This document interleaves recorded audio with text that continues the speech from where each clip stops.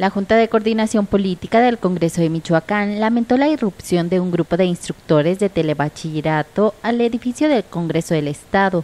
En voz del presidente de la mesa directiva, Fidel Calderón, reprobó que los manifestantes accionaran extinguidores y lanzaran químicos por debajo de la puerta del salón de pleno. El Congreso del Estado lamenta los hechos violentos que se registraron durante la tarde del día de hoy en el interior y exterior del recinto del Poder Legislativo.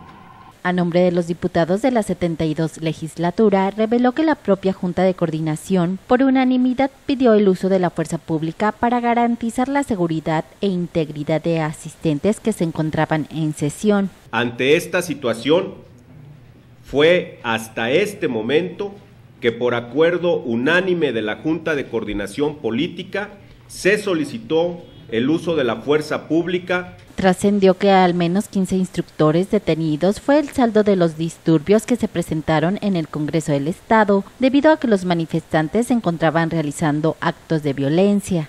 Con información de Miguel Ángel Sánchez, informa Cuasar TV.